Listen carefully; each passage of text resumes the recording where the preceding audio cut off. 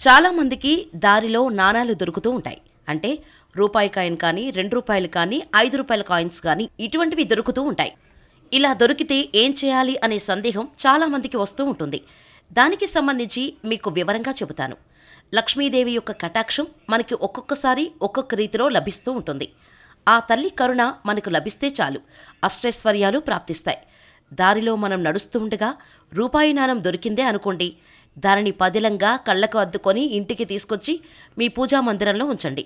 అలా దొరకడం లక్ష్మీదేవి అనుగ్రహంగా భావించండి. అంతేకాని అలా రూపాయి నాణం దొరికితే అరిష్టంగా భావించకూడదు. మంచి భావనతోనే తీసుకొని అమ్మ కరుణగా భావించి ఇంటికి తెచ్చుకోండి.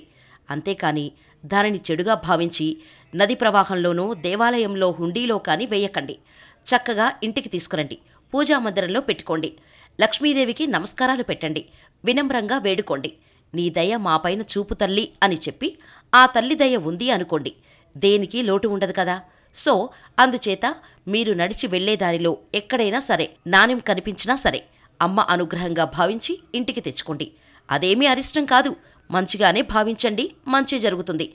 సర్వేజన సుఖినో భవంతు. చాలామందికి దారిలో నాణాలు దొరుకుతూ ఉంటాయి. అంటే రూపాయి కాయిన్ కానీ రెండు రూపాయలు కానీ ఐదు రూపాయల కాయిన్స్ కానీ ఇటువంటివి దొరుకుతూ ఉంటాయి. ఇలా దొరికితే ఏం చేయాలి అనే సందేహం చాలామందికి వస్తూ ఉంటుంది. దానికి సంబంధించి మీకు వివరంగా చెబుతాను.